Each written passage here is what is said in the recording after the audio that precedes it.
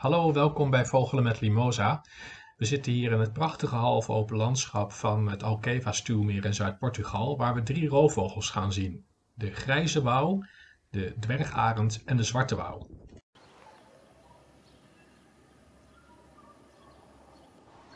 Dit is de grijze wouw. Die heet wel wouw, maar is helemaal geen wouw. Hij lijkt er ook niet op. Het is een eigen familie binnen de roofvogels. En het is nogal een kleine roofvogel, niet veel groter dan een torenvalk. En uh, het lijkt eigenlijk meer op een soort kruising tussen een sterren en een valkje. Heel opvallend zijn die brede vleugels met die zwarte vleugeltip. Dat is heel kenmerkend. En uh, ook opvallend is die hele korte staart, die hem een beetje het uiterlijk geeft uh, van een vleermuis. Verder zie je een zwart masker over het oog lopen.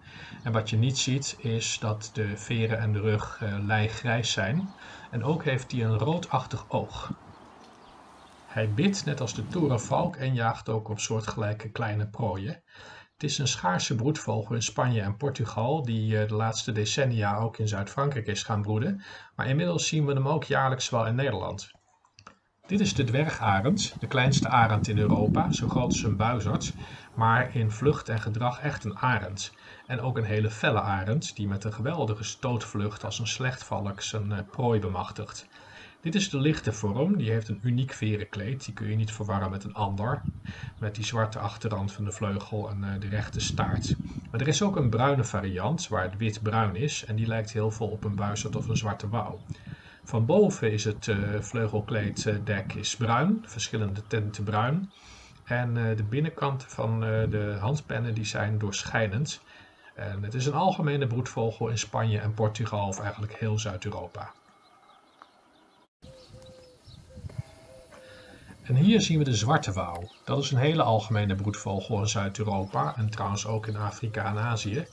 En uh, is een zomergast, net als de dwergarend. De grijze wouw is een, uh, is een jaargast, die uh, overwintert ook in Europa. Maar de zwarte wouw en de dwergarend die gaan in de winter naar Afrika. De zwarte wouw is groter dan de buizerd of de dwergarend en heeft vooral langere vleugels. En uh, wat je hier goed kunt zien is dat er een knik in de vleugel zit bij de polsen of bij uh, de hand. En ook zie je heel kenmerkend de ondiepe gevorkte staart, die die niet altijd als een vork houdt. Het is ook heel vaak gewoon een recht afgesneden staart, maar wel heel breed en waaierachtig, heel anders dan bij de dwergarend. Die uh, ondiepe vork of die recht staart, die onderscheidt hem van zijn neefje de rode wouw, die altijd een hele diepe gevorkte staart heeft.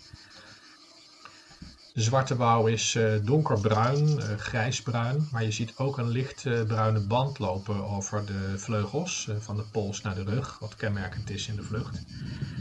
En wat je ook kunt zien is dat hij in de vlucht zijn vleugels licht gekromd naar beneden houdt. Dat is redelijk kenmerkend, maar dat doet de wespendief ook, die hebben we eerder gezien.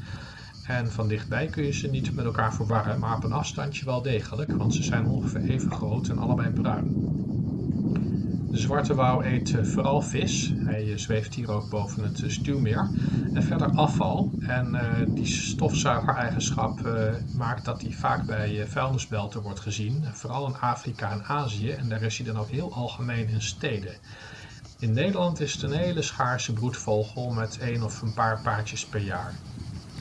In de trektijd, in april en september, is hij wat algemener en dan, uh, ja, dan kun je hem goed aantreffen in Nederland. Nou, dat was het weer voor deze week. Uh, kijk vooral verder en tot de volgende keer. Doeg!